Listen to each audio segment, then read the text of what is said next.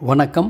Electronics training in Tamil electronics training in Tamil சேனலில் இன்றைக்கி நான் பார்க்க போகிற வீடியோ ஒரு எஸ்எம்பிஎஸ் பவர் சப்ளை இந்த எஸ்எம்பிஎஸ் பவர் சப்ளை உபயோகப்படுத்தி நம்ம என்ன பண்ணுறோம் ஒரு பேட்டரியை சார்ஜ் பண்ணணும். பர்டிகுலராக யூபிஎஸ் பேட்டரி லாஸ்ட்டு கிளாஸில் உங்களுக்கு ஒரு சார்ஜர் பேட்டரி சார்ஜர் பற்றிய டீட்டெயில்ஸ் உங்களுக்கு கொடுத்துருந்தேன். ஓகேங்களா? ஒருவேளை நியூ கமர்ஸ் யாராவது இருந்தீங்கன்னா ப்ரீவியஸ் வீடியோஸு பாருங்கள் அதில் யூஸ்ஃபுல்லாக இருக்கும் உங்களுக்கு. ஓகேங்களா? அது மட்டும் இல்லை உங்களுக்கு இன்னொரு வீடியோ ஒன்று கொடுத்துருக்கோம். ஓகேங்களா? பொதுவாக நம்ம பார்த்துருக்கிறது எல்லாமே இன்வெர்ட்டர் சம்மந்தமான சர்க்யூட்ஸ் பார்த்துட்டு வந்திருக்கோம். அதில் பேட்டரியை சார்ஜ் பண்ணக்கூடிய ஒரு எளிமையான சர்க்யூட் இதை நாம்ளே அசம்பிள் பண்ணிடலாம். இல்லையா மார்க்கெட்டில் ரெடிமேடாக இருக்குது இல்லையா எங்ககிட்ட ரெடிமேடாக இருக்குது ஓகேவா? இதுதான் லாஸ்ட் கிளாஸில் நான் சொல்லியிருந்தேன். ஓகேங்களா? இது ஒரு கம்பெனி ஆக்ஸ்ப்ரோன்னு சொல்லி. இந்த இடத்துல இது இருக்குது இது ஒரு அடாப்டர் இந்த அடாப்டர் மூலிமா நம்ம பேட்டரியை சார்ஜ் பண்ணலாம். இந்த அடாப்டர் மூலிமா என்ன பண்ணலாம்னா பேட்ரி என்ன பொசிஷனில் இருக்குது அப்படின்னு பார்க்க முடியும். சார்ஜ் ஏறுதா அப்படிங்கிற பொசிஷனையும் பார்க்க முடியும். பேட்ரி கனெக்ட் ஆகலை அப்படிங்கிறனால இன்ஃபர்மேஷன் தெரியும். ஓகே. இப்போ நீங்கள் பார்த்துட்ருக்கீங்க இல்லையா? பாருங்கள் நான் ஜஸ்ட் ஆன் பண்ணுறேன் ஒரு இண்டிகேட் லைட் எரியுது. க்ரீன் கலர் இண்டிகேட் எரியுது. மறுபடியும் நான் ஆஃப் பண்ணிடுறேன். இப்போ ஆஃப் பண்ணிட்டேன். ஸ்லோவாக அப்படியே டிஸ்சார்ஜ் ஆயிரும். அப்படின்னா என்ன அர்த்தம் அப்படின்னா இந்த எஸ்எம்பிஎஸ் ஓகே அப்படின்னு அர்த்தம். இது ஒரு சுவிட்ச் mode power supply flyback converter flyback சுவிட்ச் மோடு பவர் சப்ளை ஓகே மறுபடியும் ஒன் செகண்ட் நான் ஆன் பண்ணுறேன் ஆன் பண்ணிட்டேன். ஓகே இதில் பார்த்தீங்கன்னா ரெண்டு போர்டு இருக்குது இல்லையா? இதில் இதில் ஒரு போர்டு வந்து எஸ்எம்பிஎஸ் இது வந்து உங்களுக்கு வந்து கண்ட்ரோல் செக்ஷன் இதில் ஒரு ரிலே இருக்குது டுவெல் வோல்ட் ரிலே இருக்குது இந்த ரிலே என்னாவது பேட்டரியோட பொசிஷன் சார்ஜ் ஆயிருச்சா இல்லையா? பேட்டரி கனெக்ட் ஆகிருக்கா இல்லையா? அப்படிங்கிற டீட்டெயில்ஸை இந்த ரிலே வந்து உங்களுக்கு எக்ஸ்பிரஸ் பண்ணும். அதுக்காக தான் கொடுத்துருக்கு. ரெண்டு சர்க்கியூட் இருக்குது இதில் இருக்கிற ஐசி இருக்கு இல்லையா? இதில் என்ன IC use பண்ணியிருக்குன்னா TK one two zero three அப்படிங்கிற ஒரு ஐசி எட்டு பின் ட்ரிபிள் ஃபைவ் ஐசி மாதிரியே இருக்கும். இந்த இடத்துல ஒரு ஐசி இருக்கு இல்லையா? அது எல்எம் த்ரீ ஃபைவ் எயிட் இது ஒரு comparator LM three five eight அப்படின்னா ரெண்டு மோடில் யூஸ் பண்ணலாம். ஆப்ரேஷனல் ஆம்பிளிஃபையரும் யூஸ் பண்ணலாம் கம்பேட்டராகவும் யூஸ் பண்ணலாம். அதை பற்றி அடுத்த வீடியோவில் பார்த்துக்கலாம். ஓகேவா இப்போது ஒரு SMPS electronics staining in Tamil electronics staining in Tamil channel மூலிமா இப்போ நம்ம பார்த்துட்ருக்கிறது ஒரு SMPS power supply for battery charging battery charge பண்ணணும்னு நமக்கு தெரியும். ஏற்கனவே ஒரு டிரான்ஸ்ஃபார்மர் வேணும். ஹெவியான ஒரு டிரான்ஸ்ஃபார்மர் வேணும். டிரான்ஸ்ஃபார்மரில் வர அவுட்புட் ஏசி அதை டிசி பண்ணணும். தென் ஃபில்டர் பண்ணணும். தென் அதுக்கப்புறம் பேட்ரி கொடுத்து சார்ஜ் பண்ணணும். இது ஜென்ரலாக தெரியும். பட் இந்த மாதிரி அப்ளிகேஷனில் பேட்ரி வந்து என்னாகும் உங்களுக்கு? நாளாக ஆக ஃபெயிலியர் ஆகிறதுக்கு வாய்ப்பு இருக்குது சிம்பிள் சார்ஜிங் சர்க்கியூட் நான் இப்போ சொல்லிகிட்டு இருக்கிறது. ஓகேவா அப்போ இப்போ நான் நல்ல இப்போது நாளுக்கு நாள் என்ன ஆகிட்டு இருக்குன்னா லேட்டஸ்ட் பேட்ரிஸ் நிறையா வந்துக்கிட்டே இருக்குது அதை பற்றிய வீடியோஸ்லாம் இனி ஃபியூச்சரில் வரும் உங்களுக்கு. ஓகே இப்போ நான் பார்த்துருக்குது ஒரு லெட் ஆசிட் பேட்ரி எப்படி சார்ஜ் பண்ணலாம்? Sealed type lead acid battery எப்படி சார்ஜ் பண்ணலாம்?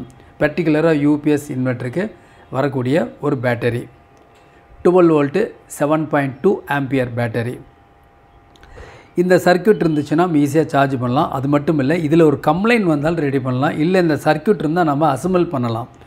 ஓகேவா நாமளே அசம்பிள் பண்ணோம்னா காஸ்ட் எப்பவுமே குறைவாக ஆகும் ஓகே சரி இப்போ இந்த சர்க்கியூட்டில் பார்த்தீங்கன்னா இப்போ நான் என்ன பண்ணுறேன் பாருங்கள் இப்போ ஆன் பண்ணுறேன் இப்போ பாருங்கள் ரிலே சேஞ்ச் ஆச்சு. ரெட் கலர் இண்டிகேட்டர் என்ன பண்ணியிருக்கேன் அப்படின்னா நான் பேட்டரியை வந்து கனெக்ட் பண்ணியிருக்கேன் இப்போ சார்ஜ் ஏறிட்டுருக்கு பேட்டரியில் இப்போ பேட்டரியோட டெர்மினல் ஒன்று நான் ரிலீஸ் பண்ணிடுறேன். பாசிட்டிவ் ஆர் நெகட்டிவ் ஏதோ டெர்மினல் இந்த சர்க்கியூட் விட்டு டிட்டாச் ஆயிரும். பாருங்கள் இப்போ என்னாச்சு? கிரீன் இண்டிகேஷன் வந்துருச்சு. க்ரீன் இண்டிகேஷன் அதனால் என்ன ஆயிடுச்சு உங்களுக்கு அப்படின்னா உங்களுக்கு பேட்டரியை கொஞ்சம் டிட்டர் மறுபடியும் கனெக்ட் பண்ணிடுறேன். மினிமைஸ் பண்ணால் உங்களுக்கு கொஞ்சம் ஈஸியாக இருக்கும் பார்க்குறதுக்கு. பேட்ரி கொடுத்துருக்கேன். பாருங்கள் எடுத்துட்டேன். மறுபடியும் இன்சர்ட் பண்ணுறேன் ஓப்பன் பண்ணிட்டேன். தென் இன்சர்ட் பண்ணிட்டு இப்போ சார்ஜ் ஏறிட்டுருக்கு. ஓகேவா ஸோ ஈஸியாக இந்த யூனிட் இருந்ததுன்னா நீங்கள் பண்ணலாம். நீங்களே சொந்தமாக அசம்பிள் பண்ணலாம் அப்படிங்கிறதுக்காக தான் சர்க்கியூட் இப்போது electronics training in Tamil channel மூலிமா ஆன்லைன் ட்ரைனிங் கொடுத்துட்ருக்கோம். வரக்கூடிய காலகட்டம் சம்மர் சீசனாக இருக்கிறனால உங்களுடைய குழந்தைகளுக்கு இந்த சம்மர் சீசனில் ஒரு நல்ல ஒரு ஒரு ஆப்பர்ச்சுனிட்டி அப்படின்னு சொல்லலாம். ஏன்னா எலக்ட்ரானிக்ஸை பற்றிய ட்ரைனிங் ஆன்லைனில் ட்ரைனிங் நீங்கள் வீட்டில் இருந்தபடியே நீங்கள் எலக்ட்ரானிக்ஸ் தொழிலை கற்றுக்க முடியும். இதில் ஆன்லைனில் basic electronics level one basic electronics level two ரெண்டு கோர்ஸ் நடந்துகிட்ருக்கு ரெண்டு கோர்ஸ்லையுமே ஸ்டூடெண்ட் ஜாயின் பண்ணியிருக்காங்க. அசம்பிள் பண்ணிகிட்ருக்காங்க ப்ராஜெக்ட்லாம் ஒரு எலக்ட்ரானிக் சர்வீஸ் இன்ஜினியராக நீங்கள் வரணும் அப்படின்னா முதல்ல எலக்ட்ரானிக் காமன்ஸினுடைய நேம் தெரியணும். ஸ்ட்ரக்சர் பார்க்குறதுக்கு எப்படி இருக்குன்னு தெரியணும். இது எப்படி செக் பண்ணணும்னு தெரியணும். சிம்பிள் தெரியணும். அப்புறம் இதெல்லாம் உண்மையாலுமே இதெல்லாம் கரெக்டாக இருக்கா இல்லையான்னு செக் பண்ணி பார்க்குறதுக்கு ஒரு மல்டிமீட்டரில் செக் பண்ண தெரியணும். அதாவது ஒரு ரெசன்ஸ் எடுத்துட்டாவோ ஒரு டிரான்சிஸ்ட் எடுத்துட்டாவோ மாஸ்பேட்டோ ஐஜிபிடியோ இதையெல்லாம் மல்டிமீட்டரில் ஃபஸ்ட்டு செக் பண்ண தெரியணும். மல்டிமீட்டர் அப்படின்னா ரெண்டு டைப் மல்டிமீட்டர் இருக்குது ஒன்று அனலாக் இன்னும் டிஜிட்டல் இந்த ரெண்டு மீட்டர்லேயுமே உங்களுக்கு காம்பவுண்டை செக் பண்ண தெரியணும். ஏன்னா நம்ம சர்வீஸுக்கு ஒரு பக்கம் போகலாம் இல்லை நம்ம சர்வீஸ் வீட்லேயே அசம்பிள் பண்ணலாம். இந்த மாதிரி நேரத்தில் இந்த ரெண்டு மீட்டருமே நமக்கு தேவைப்படும். ஓகே தென் இந்த காமன்ஸ் சொன்னதெல்லாம் இப்போ ஒரு டயோடு அப்படின்னா இது ஏசியை டிசியாக மாற்றும் அப்படின்னு தியரிட்டிக்கலாக சொல்கிறோம் மாற்றுமா மாற்றாதா அப்படிங்கிறது எப்போ தெரிஞ்சுக்க முடியும் அப்படின்னா ஒரு சர்க்கியூட்டில் இணைச்சா மட்டும்தான் புரிஞ்சுக்க முடியும். தியரி பொதுவாகவே ஈஸியாக இருக்கும். ஆனால் ப்ராக்டிக்கல் பண்ணும்போது தான் அந்த டிஃபிகல்ட்டிஸ்லாம் தெரியும். தெரியணும் அப்படிங்கிறதுக்கு தான் உங்களை ப்ராஜெக்ட் பண்ண சொல்கிறோம் நீங்கள் பாலிடெக்னிக் ஸ்டூடெண்ட்ஸாக இருந்தாலும் சரி இன்ஜினியரிங் ஸ்டூடெண்ட்ஸ் சரி plus one plus two tenth any category interest இருக்கவங்க யார் வேணாலும் இந்த எலக்ட்ரானிக்ஸ் படிக்க முடியும். அதுக்காக தான் அந்த சம்மரில் உங்களுக்கு ஒரு ப்ராஜெக்ட் ஒர்க்கு யார் வேணால் எலக்ட்ரானிக்குள்ளே வர முடியும். ரொம்ப எளிமையான ஈஸியான சப்ஜெக்ட் ஓகேங்களா? ஒரு மினிமமாக ஒரு பத்து ப்ராஜெக்ட் எலக்ட்ரானிக்கில் பண்ண வேண்டியிருக்கும். சிம்பிள் ப்ராஜெக்ட்ஸ் ப்ராஜெக்ட் சம்மந்தமாக உங்களுக்கு ஏதாவது சந்தேக டவுட் வந்துன்னா மதியம் ஒன்று டு ரெண்டு கால் பண்ணி கேட்கலாம். இந்த மதியம் ஒன்று டு ரெண்டு கால் பண்ணி கேட்குறதுல மட்டும்தான் நீங்கள் வந்து மெல்ல மெல்ல அப்கிரேட் ஆக முடியும். ஓகேங்களா? நீங்களே இண்டிவிஜுவலாக சர்க்கியூட்டை படிக்கிறதுனாலையோ இண்டிவிஜுவலாக சர்க்கியூட்டை டிசைன் பண்ணலான்னு இருக்கிறனாலையோ பெருசாக சக்ஸஸ் பண்ண முடியாது. உங்களுக்கு ஒரு கைடு வேணும். கைட்லைன்ஸ் கண்டிப்பாக கொடுத்தாகணும். அப்போ தான் இந்த ஃபீல்டுக்குள்ளே நம்ம மேலே வர முடியும். ஓகேங்களா electronics training in Tamil channel மூலிமா ஆன்லைன் ட்ரைனிங் கொடுத்துட்ருக்கோம் ஆன்லைன் ட்ரைனிங்கில் விருப்பம் உள்ளவங்க ஜாயின் பண்ணலாம். கோர்ஸ் ஃபீஸ் ஸ்ட்ரக்சர் டீட்டெயில்ஸ் எல்லாமே உங்களுக்கு என்னுடைய வாட்ஸ்அப் நம்பருக்கு கால் பண்ணுங்கள் நான் டீட்டெயில்ஸ் கொடுக்குறேன். ஆன்லைனில் வந்து பேசிக் எலக்ட்ரானிக்ஸ் மட்டும் இல்லாமல் செல்ஃபோன் ட்ரைனிங் இருக்குது CRT TV training LED LCD TV training by point and home theatre assembling and troubleshooting இருக்குது UPS inverter emergency light all SMPS and induction stove பற்றிய செப்பரேட் கிளாஸஸ் இருக்குது எல்லாமே கமர்ஷியல் கிளாஸஸ் எல்லாமே. இந்த கோர்ஸை படிச்சுட்டு நீங்கள் உடனே சர்வீஸ் பண்ணலாம். ஓகேங்களா? பட் இதுக்கெல்லாம் அடிப்படை என்ன வேணும் அப்படின்னா பேசிக் எலக்ட்ரானிக்ஸ் ரொம்ப முக்கியம். நமக்கு சரியாக தெரியல அப்படின்னா இந்த லெவல் ஒன் லெவல் டூ முடிக்கிறது பெஸ்ட் பெட்டர் ஏன்னா அதில் நிறைய ப்ராஜெக்ட் பண்ணும்போது நாம் நிறையா தெரிஞ்சுக்குவோம். விஷயங்களை தெரிஞ்சுக்குவோம். ஓகேங்களா? சரி இப்போ பார்க்கலாம். இப்போ சார்ஜ் ஆகிட்டுருக்கு நான் கட் ஆஃப் பண்ணிட்டேன். கட் ஆஃப் பண்ணிட்டேன். ஆஃப் பண்ணது பிறகும் இந்த பேட்டரியோட இண்டிகேஷன் பொசிஷன் காமிக்குது டுவெல் பாயிண்ட் ஃபைவ் வோல்ட் இதில் காமிச்சிட்ருக்கு இதனுடைய சர்க்கியூட்டை பற்றி டீட்டெயில்ஸ் இப்போ பார்க்கலாம். இப்போ பாருங்கள் இதுதான் வந்து அந்த சார்ஜருடைய சர்க்கியூட் சார்ஜரில் ரெண்டு யூனிட் இருக்குன்னு சொன்னோம். ஒன்று வந்து டுவெல் வோல்ட் அவுட்புட்டை உருவாக்குற ஒரு எஸ்எம்எஸ் பவர் சப்ளை அதுதான் பார்த்துட்ருக்கோம். ஓகேங்களா? இப்போது இதில் பாருங்கள் இதில் வந்து ஃபேஸ் நியூட்ரல் 90 வோல்ட் ஏசியிலிருந்து டூ நைன்ட்டி வோல்ட் ஏசி கொடுத்தாலும் இந்த சர்க்கியூட் வேலை செய்யும். அதாவது யூனிவர்சல் இந்த உலகத்தில் எந்த இடத்துல இருந்தாலும் இந்த சார்ஜர் அல்லது இந்த அடாப்டர் ஒர்க் பண்ணும். அதாவது ஒவ்வொரு நாட்லேயும் ஏசி வோல்ட்டு வேரியபிளாக இருக்கும். அப்போ எந்த வோல்ட்டு கொடுத்தாலும் இந்த சர்க்கியூட் வேலை செய்யும்.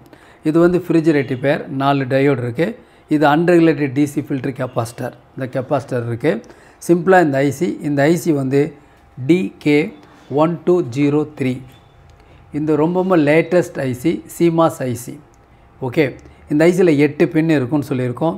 இந்த பின் இந்த ஐசி ஒர்க் பண்ணணும் அப்படின்னா இந்த ஐசினுடைய எட்டாவது பின் ஏழாவது பின் ரெண்டுக்கும் சப்போலோ வோல்ட் வரணும். பர்டிகுலராக உங்களுக்கு ஏழாவது பின்னுக்கு சப்ளை வரணும். அதுதான் இந்த இந்த ஐசியோடைய ஒரு ப்ளஸ் பாயிண்ட் வோல்ட் எங்கேருந்து வருது? பாருங்கள் இந்த இடத்துலேருந்து வந்து இங்கே இருக்கக்கூடிய ஒரு பெரைட் டிரான்ஸ்ஃபார்மர் இருக்குது பெரைட் டிரான்ஸ்ஃபார்மர் ப்ரைமரி வழியாக அது கிடைக்கிது.